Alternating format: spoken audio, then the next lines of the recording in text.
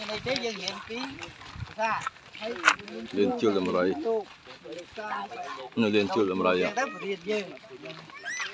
ចឹងទាំងអស់មាន6មានបណ្ណាល័យសម្រាប់អឺប្រជាជនធម្មតាបណ្ណាល័យសម្រាប់មន្ត្រីនិងបណ្ណាល័យសម្រាប់ស្ដេចបាទអញ្ចឹងនៅខាងបាទ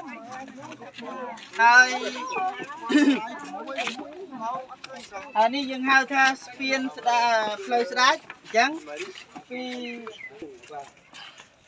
ជាពិសេសព្រាត់ស្បែកគោសង្កថា